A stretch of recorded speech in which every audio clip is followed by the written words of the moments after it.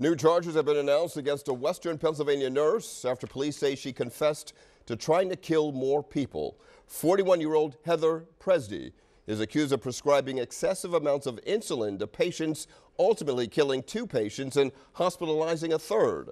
According to police, Pressdee admitted to trying to kill 19 other patients with insulin at five rehabilitation centers from 2020 to this year.